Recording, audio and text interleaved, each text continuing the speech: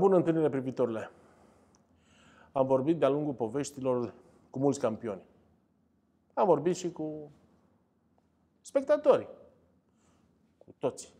Dar în spatele campionilor întotdeauna e cineva. Și acel cineva, prin mulți, am luat un sâmbure și l-am adus astăzi la tine în poveste. E vorba de domnul Viorel Filimon. Bine ați venit în poveste, domnule Filimon. Bine v-am găsit. Sunteți omul din spatele mesei, că vorbim despre tenis de masă, din spatele campionilor. Sunteți omul care, cu ceva vreme în urmă, ați fost desemnat de Federația Internațională de Tenis de Masă să conduceți echipa lumii împotriva echipei China, ceea ce pentru mine acolo am spus gata, acolo e punctul, nu mai contează restul. Ce înseamnă când derulați filmul și vedeți străzile pe care ați umblat, ce v-a dăruit tenisul de masă? Ce să vă spun? Practic mi-a dăruit tot, având în vedere că am luat-o ca o pasiune, ca o dorință a ceea ce eu n-am putut să, să fac. Tenisul de masă a apărut în viața mea destul de târziu, printr-o fantă de lumină, prin care am văzut o minge care dispărea, trecea prin drept fantă, se ducea în partea cealaltă și revenea. Încet, încet am reușit să intru și să văd într-adevăr că acea minge venea dintr-o paletă și ducea într-alta și încet, încet, așa mi-am dat seama că cu acea minge se pot face foarte multe. Aveam în jur de 13-14 ani, destul de mult pentru începa, începe tenis de masă. Uh, eram undeva la Buzău, un centru care era cunoscut în tenisul de masă, dar nu foarte, foarte puternic. Cu mine pe undeva s-a început. Antrenorul cu care am început a fost Băcioiu, unul dintre antrenorii care au dat mulți eh, sportivi la lotul național, a condus echipa României. Am urmat, să zicem așa, începutul tenisului de masă timp de vreo 5 ani în Buzău.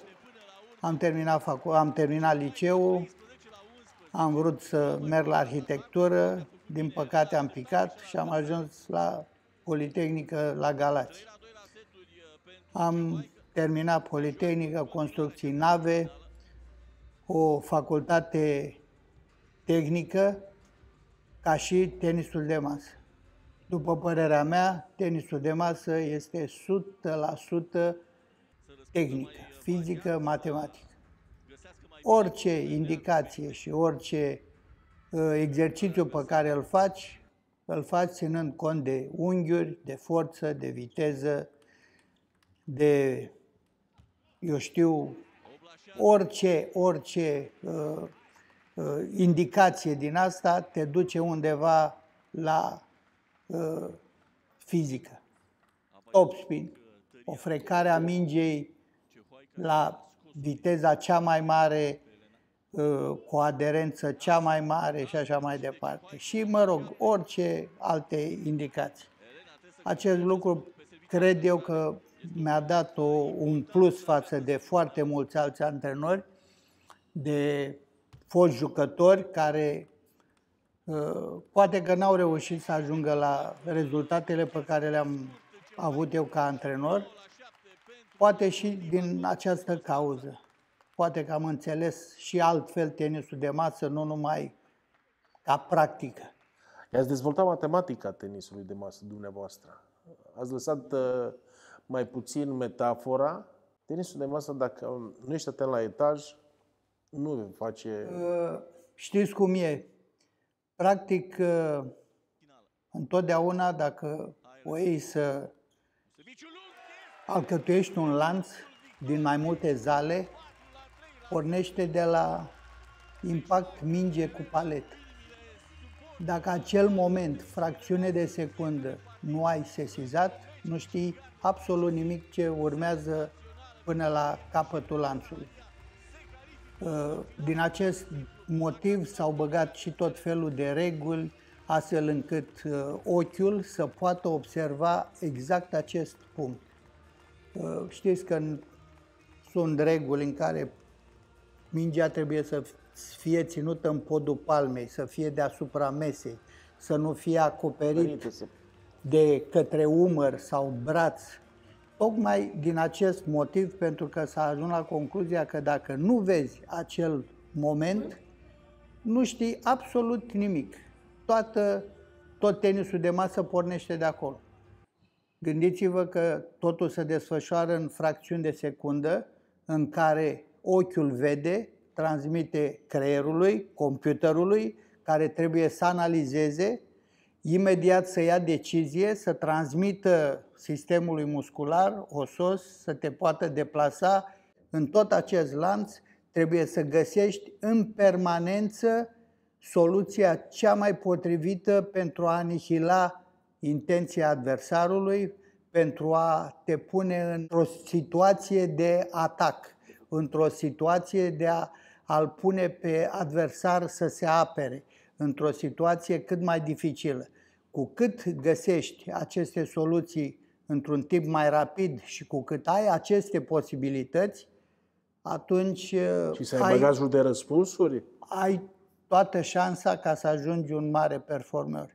Citeam undeva acum de curând că talentul te duce până la un moment dat, după care propria muncă și propria dorință și totul, totul depinde numai și numai de tine ca sportiv, care trebuie să-ți analizezi absolut orice acțiune pe care o ai pentru a-ți îndeplini scopul, dacă acest scop este foarte înalt. În momentul în care apar multe alte dorințe și intervenții din afară, te pot, uh, uh, îți pot distrage atenția și atunci munca de o viață se risipește. Și atunci tot vă întreb, unde ați găsit uh, partea de poezie în această disciplină sportivă în care dumneavoastră mi-ați etalat toată matematica, toată fizica. Vă întreb, unde ați găsit că e vorba de o relație de dragoste, pentru că asta este, unde pasiune este dragoste, iar dumneavoastră în toată matematica și fizica asta, unde ați văzut poezia tenisului de masă? Păi, poezia am văzut-o în oamenii cu care am lucrat, atât antrenori, ă, staful tehnic care pe măsură ce am avansat în, în vârstă, am reușit să formăm acest staff tehnic împreună cu federația, uh, fără de care, în momentul de față, la orice sport nu mai poți să faci față. Uh, de unul singur, ca antrenor, n-ai cum să cunoști și să cuprinzi absolut toate, uh, eu știu, etapele și toate mm, domeniile de a putea forma un, un sportiv. Mă refer la medic, mă, de, mă refer la psiholog, psiholog, preparator sportiv, uh, chiar nutriționist, uh, analist video și așa mai departe. Deci toate lucrurile astea fac ca să descarce de pe umerii antrenorului uh, lucruri care înainte Uh, le făceam cu foarte mare dificultate, cu foarte mult timp pierdut și... Și nu erau complete. Da. Că nu aveați... Poate că tocmai acest, acest, uh, aceste momente au făcut ca antrenorii care sunt, eu știu, de vârsta mea sau apropiați vârstei mele, au putut să acumuleze cunoștințe și să le perfecționeze și să aleagă ce este mai bun astfel încât să poți obține rezultat ceva mai repede decât unul care se chinuie de, eu știu, unul singur. Prin, uh, hai să spunem, prin fața paletei dumneavoastră au trecut atâți mulți campioni ai României, de la Otilia Bădescu, toți campionii. Dumneavoastră trebuie să descoperiți pe fiecare în parte pentru că nu erau identici. Eliza Samara nu seamănă cu Otilia Bădescu. Uh, nici, nici o jucă. Cum? era domnul Filimon, cum se descopera el? În fiecare sportiv în parte. În general era un om exigent, de multe ori neînțeles de unii sportivi care nu lucrai tot timpul cu, cu el. De multe ori faptul că întotdeauna o echipă națională e greu să o formezi numai din sportivi de la clubul unde lucrezi. E normal că fiecare sportiv are personalitatea lui, antrenorii îl învață într-un anumit fel. Tu, în momentul în care mergi la anumite competiții, în anumite etape de pregătire, vezi anumite lucruri și încerci să le pui pe Uh, eu știu, baza tehnică a acestui jucător, de multe ori poți, de multe ori nu poți, există o luptă nu suficient de, cum să spun eu, prietenească și în final, uh, lăsând de la tine, punând și de la alții, reușești să obții totuși performanțe. Credeți că se poate ajunge, nu pentru un sportiv din România, pentru orice alt sportiv, în înaltă performanță, fără o disciplină cruntă, fără exigență? Uh, întâmplător, da, dar Întâmplător? Ca, să, ca să se repete, nu. ca să se repete niciodată. Și Pentru atunci, că... de ce vă numiți exigent dacă știți că este o regulă fundamentală? Pentru că unii cred că se poate și altfel. Înțelegeți, de multe ori, antrenorii care să, pentru a fi acceptați de către sportivi, încearcă să intre în cum să spun eu, în plăcerile e sportivului. Evident, e evident că se ține cont, dar dumneavoastră ca un profesionist. Sport fără sportiv nu se poate. Uh, citeam cu mulți ani în urmă, înainte de 90, un interviu al lui Oleg Blokhin, fostul jucător al Dinamo Kiev, vorbea despre antrenorul Lobanovski. Era antrenorul lui. Și spunea, niciodată nu pot să îmi depășesc antrenorul. El mă învață. Deci, în altă performanță de unul singur, întâmplător se poate.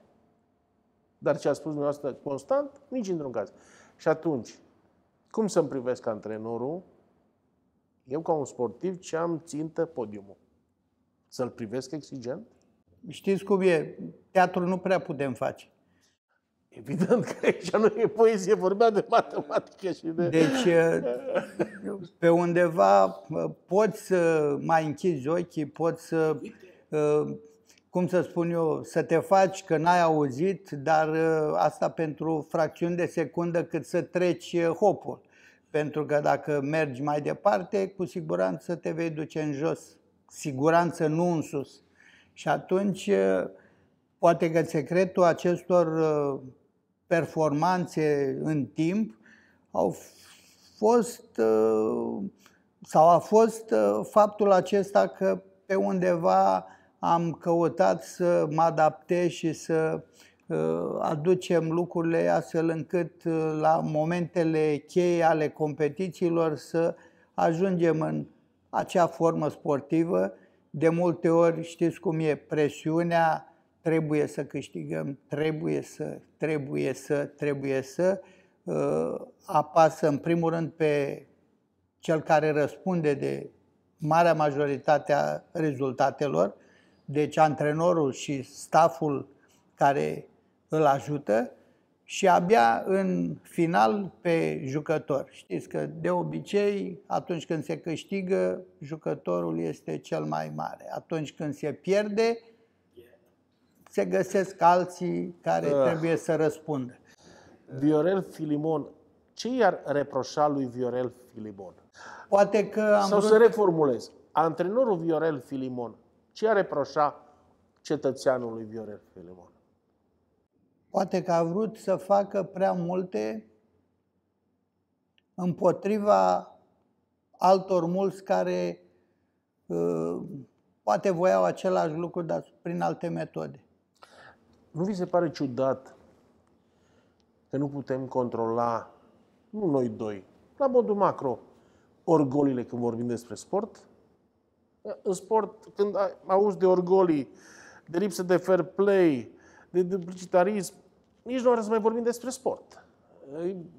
Mai bine închidem ușa, magazinul și plecăm în alt cantonament. Zic eu că orgoliu nu te duce practic nicăieri. Pe undeva, ă, poate, eu știu, e necesar până la un anumit moment în care trebuie să te situezi, să vezi exact pe unde ești și după aceea trebuie să înțelegi oricum că singur, indiferent în ce postură ești, nu poți să faci față. Sub nicio formă. În, în orice domeniu, nu numai sport. Și atunci zic eu că orgoliu poate fi așa, eu să zic, până la undeva la mediu. După care trebuie să ne lăsăm orgoliile la mai, mai prejos și să vedem de atingerea scopurilor pentru care fiecare din noi muncim și vrem să ducem, eu știu, undeva activitatea noastră la măestrie, la a mai pune un milimetru acolo la baza și acestei... explicați mie, după evenimentele din decembrie, dumneavoastră ați cunoscut sportul din România înainte de 89, îl știți și după cel din 1989. Cum reușim, adică dumneavoastră cum ați reușit și alți antrenori și la diferite discipline sportive, din sărăcia asta a implicării în sport, să mai avem performanță și în altă performanță. Din sărăcia asta s-a născut o echipă campioană olimpică la scrimă. Din sărăcia asta s-a născut un uh, campion mondial cel mai rapid înotător din lume. Din sărăcia asta s-au mai născut gimnaste. Din sărăcia asta s-a mai născut campion la box. Ați născut campioane europene la tenis de masă. Din sărăcia asta în care nu s-a mai pus nimic după 1989 și totuși dumneavoastră și alți colegi de-a dumneavoastră, în diferit, băi, scoateți campioni. Cum? Uh, știți ce se întâmplă? Părerea mea că ați atins un punct sensibil al sărăciei. Întotdeauna sărăcia te face să te mulțumești cu puțin. Adică dacă ai puțin mai mult decât ai avut până, ești mare. În general, vedeți că dacă am luat așa cronologic, și am analizat, am vedea că România a pierdut zeci de competiții în ultima secundă, în acel minut de prelungire. Uh, pentru că am crezut că gata, s-a terminat. Poate că ne-am mulțumit întotdeauna cu atât. Zic eu că această sărăcie la noi a fost înțeleasă suficient puțin mai mult și suntem mulțumiți. Cel care a reușit să facă performanță, să ajungă campion, uh, a uitat de această sărăcie pe undeva și prin muncă, prin foarte multă muncă, a reușit să uh, depășească această sărăcie. N-a fost cumva și o lașitate a celor implicați? Ba, cred că da. În multe situații, sigur, lașitate și poate că rezolvarea uh, acestei stări de sărac uh, au, au găsit-o sub alte metode, cu rezolvate prin alte metode. Uh, zic eu că mari campioni, vorbesc în primul rând de sport, au făcut uh, și au realizat performanțe, în primul rând, a dăruirii aproape totale, a muncii foarte perseverente și a unor oameni foarte exigenți. Vorbim și de gimnastică, și de scrimă, și de oriunde, oriunde. Uh, mai ales acolo unde succesul s-a repetat. Deci nu a fost ceva întâmplător. Uh, vedeți, uh, acum vorbim de înnotătorul care, eu știu... Se bate cu secunde. Se bate cu secundele. Nu a fost o întâmplare. Uh, țin minte anul trecut, uh, sau acum doi ani înainte de a merge, a pleca la Olimpiadă, uh, Popovici era pe punctul de a nu mai pleca. A avut un moment în cantonament în care toată lumea a intrat în panică că nu vrea să mai meargă. De ce? Pentru că pe semne ajunseseră la niște, în niște momente din astea în care poate că își realiza că ar putea, dar poate că îl apăsa prea tare aceste gânduri. Iaca că după un an jumate ceea ce se preconiza încă de la înainte de Tokyo, Tokyo? Corect, a așa. mers încet, încet și acum demonstrează că practic toate competițiile sunt la, la cheremul lui, să zic așa. Deci el bate constant uh, uh, 100 și 200 de metri și a văzut că a mers și pe la 50, în fine. Deci sunt niște lucruri care uh, sunt puțin diferite de tenis de masă.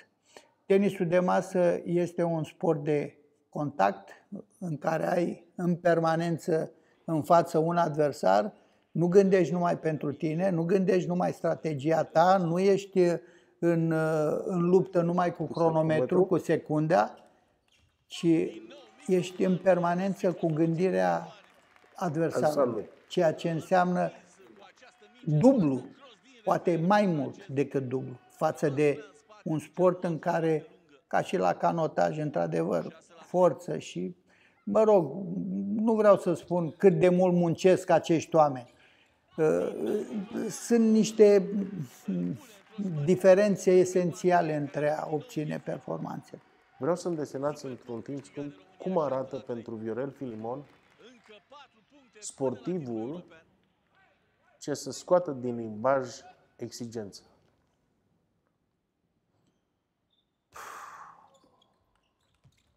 A, pentru mine, cred că totuși dacă această exigență nu există în, în sânge pentru acel sportiv, nu cred că poate să obțină performanță.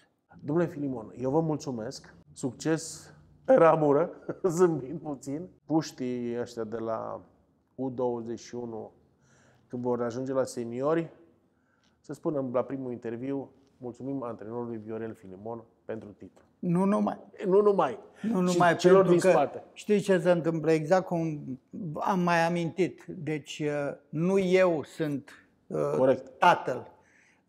Fiecare are câte o, o familie. Câte un tată? Că, are o familie șef. care, o, pe care o are acasă, o are o familie pe care o are la club și are o altă familie care are la, o are la echipa națională. Încă o dată specific. Suntem un, un, un grup, am fost mereu, au apărut alții, care ne ocupăm de, de pregătirea acestor sportivi, iar să nu trecem peste un moment foarte important, această trecere de la juniori la seniori este foarte grea. Acest campionat este un campionat, așa cum se cheamă U21, care face trecerea între campionatul de juniori și campionatul de seniori. O trecere foarte grea. Aici... Este de fapt, este de fapt un filtru, mulți se și pierd, mulți Exact. se și pierd, Vreau să spun că noi, în momentul de față, aici jucăm cu echipele de juniori ale, ale României, pentru că așa a făcut generația aceasta, este puțin peste generația care, cum să spun, sau imediat sub generația Adina Diaconu, care, eu știu, a ieșit de la această categorie de 2 sau de 3 ani. Deci a fost o perioadă în care nu am avut niște jucători bine. A foarte fost- buni, cu toate că la nivel de juniori și cadeți am obținut aceste rezultate și din asta vă spun că uh, de foarte multe ori uh, uh, sunt competiții la care ne ducem, aspirăm, ne dorim, dar e foarte, foarte greu ca să obținem uh, aceste rezultate cu sportivi mai mici, cu 3 sau 4 ani de categorie. Vă mulțumesc, domnule Viorel Și Filimon. eu mulțumesc. Privitorule, fără efort nu se poate să ai succes. Toate bune!